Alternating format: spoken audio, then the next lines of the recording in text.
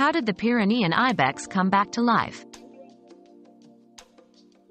The Pyrenean ibex, a subspecies of wild goat, was declared extinct in 2000. However, scientists were able to bring it back to life temporarily in 2003 using cloning technology. They used cells from the last surviving female ibex to create an embryo, which was then implanted into a surrogate goat. Unfortunately, the cloned ibex died shortly after birth due to lung defects. Nonetheless, this experiment showed the potential for cloning technology to revive extinct species in the future.